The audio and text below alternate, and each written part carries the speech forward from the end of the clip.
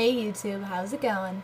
I promised I would be talking about zombies this week. So, both episodes, both Monday and Thursday, I'm going to be talking about zombies because it's just such a, you know, wide topic that I figure I can squeeze two episodes out of it. Today, I think I'm just going to talk mostly about zombies in general, and I'm going to tell you about my zombie survival plan. For those of you woefully unaware, a zombie is a person who has died um, and their corpse is brought back to life. So it's kind of, they're reanimated. They're reanimated corpses. Spooky, you may say, but a reanimated corpse. I could get to see Grandpa again. That doesn't sound so bad. You're wrong. You see, what makes a zombie different from a regular human or even a corpse that is brought back to life, such as someone who had a heart attack and they're dead for a few seconds and then they bring them back to life. There's a big difference between that and a zombie. A zombie, to survive, to, to keep moving about, has requires sustenance, like any other living creature. Zombies require food to keep going, and their food of choice is brains, specifically human brains. I believe the most common myth surrounding zombies is that there's an outbreak of one person usually, and or a couple people, and they walk around, you know, looking for brains, and they bite someone. Once a zombie's bitten you, you have anywhere. Some, uh, mostly my knowledge comes from movies, so I have read the Zombie Survival Guide, but mostly, you can it can be anywhere from a couple seconds to days, weeks before the virus that the zombies have when they bite you gets enough into your bloodstream, multiplies enough that you die, and then you're brought back as a zombie. So after a zombie bites one or two or three people, that's when things start to get ugly, because then you've got four or five zombies, and they wander around, each of them bite three or four people, each of them bite three or four people. You can see how it can spiral out of control. And sadly, stopping a zombie is not the easiest task either. The most effective way to kill a zombie is to destroy its brain if you just lob off their arm, they're not going to feel it. They have no feelings. That's kind of one thing that differentiates zombies from humans is they, they don't think. They just act. All they know is that they want brains. They don't feel pain, cold, they feel hunger, yeah. No pain, cold, heat, anything like that. All they know is that they need to find another human to infect, to bite, to devour. So mostly the most um, well-known way of killing a zombie is a bullet to the brain or anything else that can get inside their brain and churn it up a little. So even if you were to cut off their head, in some cases the mouth can still gnash and if you were to step on it or get close to it, it might find a way to still bite you and therefore infect you. So why don't we just kill the zombie, the first one that shows up? Usually it's not that easy, as movies have taught me. See, even when they're wandering around with their eyes blank and one word on their lips, brains, coming out in a moan, they're still very human like. They still look like Great Aunt Edna or the little boy down the street. They still look human, and that makes it very difficult for some people to kill them, to destroy their brains.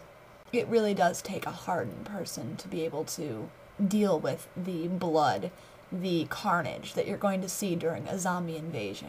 Now, I guess I should let you in on my, my little um, idea. I don't have much because as a college student, I move a fair amount, at least twice a year, and living in different locations, of course, affects me differently um, and my plan differently. When I'm at college, my plan involves going to a building, one of, because um, the, you know, buildings have multiple layers, going to one of the ones that is a bit taller, you know, not just three stories, maybe four.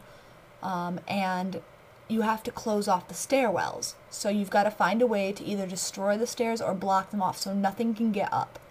A problem with this, of course, is if there is, say, a fire, you're trapped up there. Also, if there's another human who has not been turned yet and they try to get up top, you won't have a very easy way of getting them up there.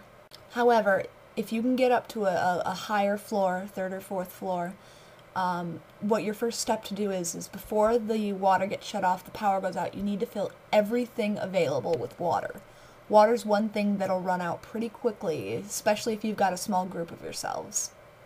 Of course, a no-brainer is you'd also want to hide food, not hide, but bring up food And you'll need weapons. Bullets will be your best friend. One gun could last quite a while, but you're gonna need bullets. Don't get me wrong, I don't plan on hiding out forever. However, if you're up higher, not only will you be safe at least for a period, but you'll also be able to pick off zombies from up there without them being able to do anything. They won't run away when they hear a gunshot, they'll just move closer. When the time finally comes and you're either out of food and water or you just know that you need to move down move on, I'm hoping by this point you'll have at least two or three other people. However, a big big concern is you do not want to get attached to them. People die incredibly quickly from, you know, it can die incredibly quickly from a zombie bite. You don't want to be attached to them if you have to shoot them in the head. So, when the time comes to go down or when you're in a rural area, you get together your band, people you trust. You have to be able to trust these people. You don't have to like them. You don't have to always get along with them, but there has to be some cohesiveness within the group. And you go down and you want to make sure you've all got, you know, fully loaded guns or whatever your weapon is. Personally, I'd like to have a machete and a smaller gun because I can't really carry a heavier gun, but something that can still pack a punch. Next step, get in a car and drive. Drive as fast as you can. Get away from that area because by then it's possible that the noise you will have made will have drawn more zombies in and you just want to get away from the horde. Hopefully now there'll be a slow moving bunch and not quicker ones. There some depictions of zombies show them as being um, slow and kind of and by kind of I mean really stupid. They they're just they can't do anything. Other depictions, however, show them as being merely intelligent and being able to move very quickly, and that's a dangerous zombie. Where do you drive, though? If you go south, you're going to be hitting a lot more chances of the disease spreading if it if it doesn't only spread by bite. Um, going north, however, if there's no power, it's more difficult to survive the cold winter if you don't have heat. However, Zombies have a very difficult time living in the cold because their joints freeze. They don't feel it, but it'll take till spring for them to thaw out. After my road trip adventure, I realized that the place I think I would go would be a desert. Now, of course, you'd have to stock up on water often and food, but if you could get onto a, a plateau or a mesa, you could see for miles around on all directions. And from that kind of a vantage point, you can watch out for anything coming for you. Now, hopefully, now hopefully the zombie apocalypse doesn't last too long if it does come. But if we were to have a full-scale apocalypse, you need to be prepared and have some kind of plan ready for when this occurs. Just remember that as a human, you've got one big advantage over the zombies. Superior brain power. My name is Keps, and I approve this message. Beneath that milky hide, there's emptiness inside. I wonder if they even bleed. They're savages, savages. Barely even human. Savages, savages. Killers at the core. They're different from us, which means they can't be trusted. We must sound the drums of war.